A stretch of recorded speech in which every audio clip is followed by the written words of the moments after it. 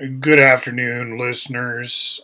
I'm calling you listeners even though I am going to have, I am showing video. I do have a video track, but it's all stills. It's kind of a slideshow style, and I'm going through my Flickr photo stream, which is public. And I will put a link to it in the description so you can look at these. However, they won't start I'll put a, a link to the first slide that I'm showing actually, so you can go back in the timeline. I say timeline because I think that's an important aspect of Bucky Fuller's thinking and others going forward. The idea of a time tunnel, a scenario, a world line, these aren't ridiculous ideas. These are intelligent ideas that we each live in a time tunnel and that these are partially overlapping now this first picture, it shows a UN flag and a Fuller projection juxtaposed. And I think of that as like flavors of globalism. In the United Nations, we think of small world after all, kind of nations all getting along in theory, ideally, right? We've banned nuclear weapons. We're looking back on those kind of savage times that's where we're heading, we hope. But then the Fuller projection is more like we're not taking these nations seriously enough to have to show you them. We're into global warming now. We're talking about the temperature. That's what the coloring's about. And actually, when you go back to the UN map, you see it doesn't really show nations either. It's not really an emblem of world government, but it almost looks that way with the Romanesque I don't know. There's something about the Roman mindset that creeps through for me in the UN flag. But that's not a criticism so much as an acknowledgement of how world government does still appeal to some people as a remnant of imperial thinking. And then there's a fighting Quaker guy, and then there's something I was using to explain quad rays. So we just had a Math for Wisdom seminar workshop here, here in Portland, and it was mostly so that we could understand better where Andrius is coming from. Andrius, with his wondrous wisdom. So he has a whole channel on this and a wiki and all this stuff.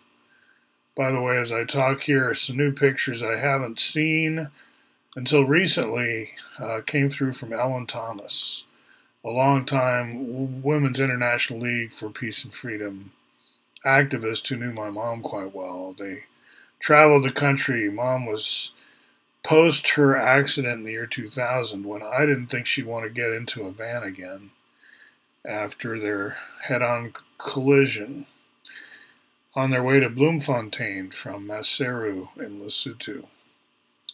So this is from having lunch with my Uncle Bill. We got up to see relatives.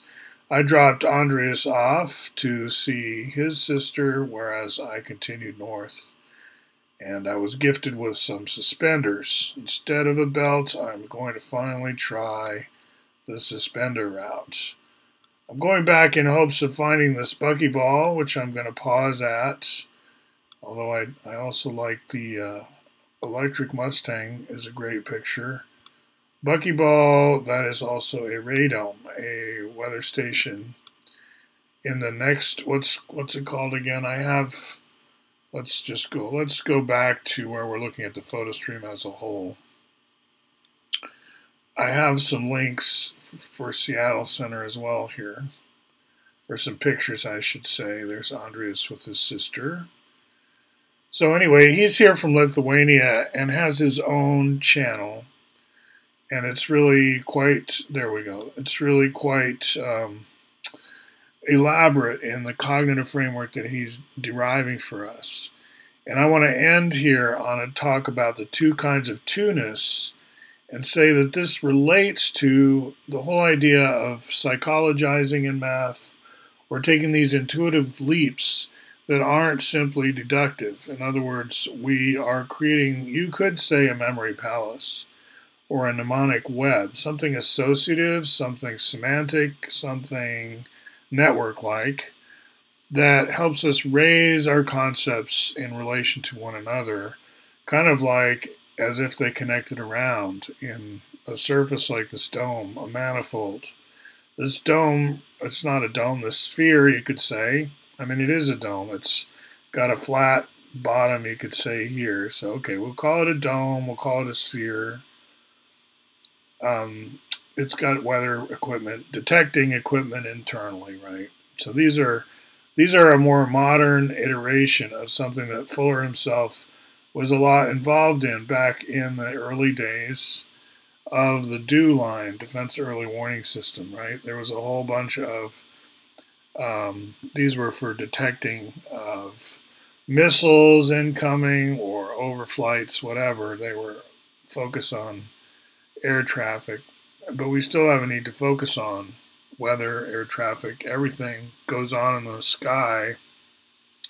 I mean, radars aren't that selective in what they can see and not see. So if there's UFOs out there, we can probably see those as well, right? So I have a whole page actually mentioning this particular uh, weather station, which I linked to somewhere. Maybe, let me see.